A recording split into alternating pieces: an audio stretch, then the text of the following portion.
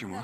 Вот тебе пример. Моя подруга постоянно говорит о своих проблемах в постели, и только теперь, когда они вместе уже год, она сказала ему, что он должен сделать, чтобы доставить ей большее наслаждение. И это его очень расстроило. Почему? Он испугался, он начал думать, что был плохим любовником. Может, не надо было ждать так долго?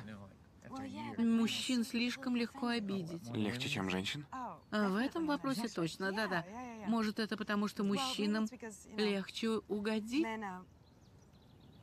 Я права? Да, возможно. В любом случае, Моя подруга сказала, что прежде чем начать встречаться со следующим парнем, устроит ему небольшой опрос по поводу пристрастий.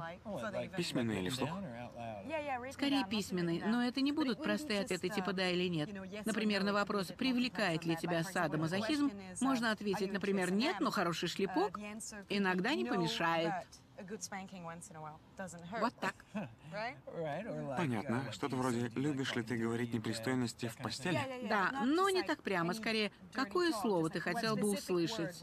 Ну, ты знаешь. Кто я? Да, какое слово ты хотел бы услышать? Не знаю. Что ты скажешь о слове «пися»? Мне оно нравится. Хорошо, странно. Насколько извращеннее мы стали за эти девять лет.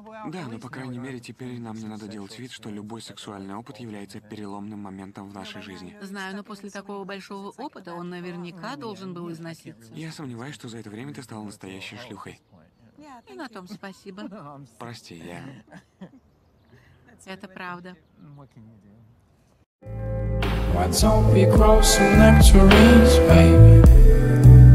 Why don't we grow a little